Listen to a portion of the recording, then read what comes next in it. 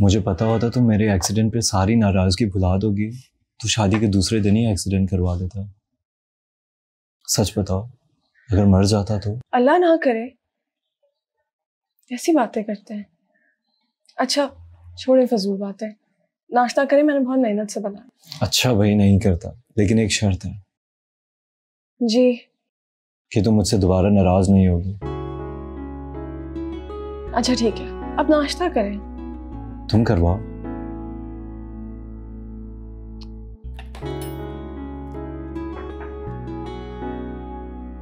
वाह भाई अकेले अकेले नाश्ता? मुझसे पूछा भी नहीं। हमेशा गलत टाइम पर एंट्री मारना तुम। मेरी बीवी मुझे प्यार से नाश्ता करवा रही है। तो क्या हुआ? मेरे सामने भी खिला सकती है नाश्ता। मैं इसकी दोस्त हूँ तो आपकी लाडली बहन। इतना आराम से क्या बैठी हो? खिलाओ ना इन्हें। इतने कमज़ोर हो गए बेचारे एक्सीडेंट के बाद।